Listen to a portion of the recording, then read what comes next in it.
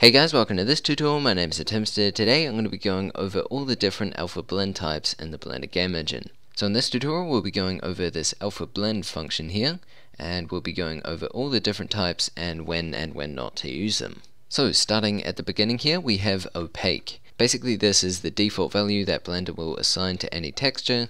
It allows for transparency as you can see here when we put other objects beneath it and it's fairly smoothed out. What I've found is it's very similar to alpha blend so they both seem to do the same thing. Opaque actually means no alpha but for some reason it does still allow you to add it. Now there is one problem with opaque and alpha blend and that is basically if you have lots and lots and lots of objects underneath each other sometimes the Z value can get messed up and some in the back start showing up in the front and others in the front show up behind the ones in the back. So again opaque is pretty good but you don't want to be using it in lots and lots of instances such as trees and stuff. Alright, so moving on to the alpha blend of add. So basically what this does is adds the white values of the texture on top of each other. Now to use it you must have a black background as you can see here on your texture and then choose alpha add from here. On top of this you also need shadeless applied. Otherwise if you don't have a light source then it completely disappears. Now what you can also do is go down to the bottom, choose multiply and then uh, choose whatever color you want to apply to it. And then the second cool thing is if you duplicate it, you can put multiple layers on top of each other and it will make it look brighter.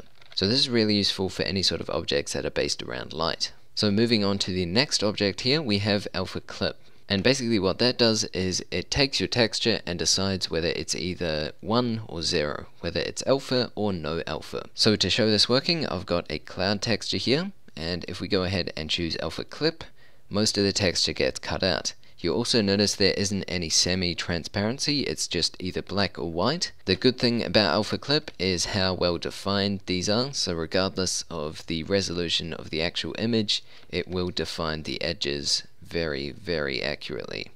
The bad thing about this is it makes them very rough. You notice here they're smooth, and then over here they're very rough so you need extra filters to go ahead and smooth them out. So the next item here is alpha blend again it's sort of the same as opaque, it does relatively the same thing. If you have too many objects they'll heap up on top of each other and then have problems with the Z value again.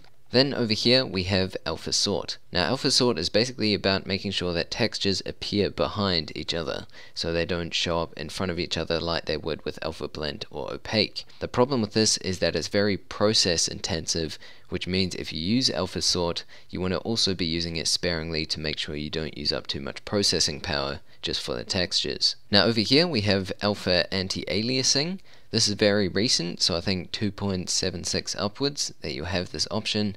And basically what it will do is it will just cut around all the values ignoring any blurred values, as you can see here from anti-aliasing. So this is the raw cutout without any blurring. Now in regards to performance, the best ones is going to be anti-aliasing and alpha clip as they either decide 1 or 0 so you don't have to deal with all the other values and ranges of transparency. Then after that we'll have opaque and we'll have alpha blend and we might also have add, I'm not sure how efficient that is for working with.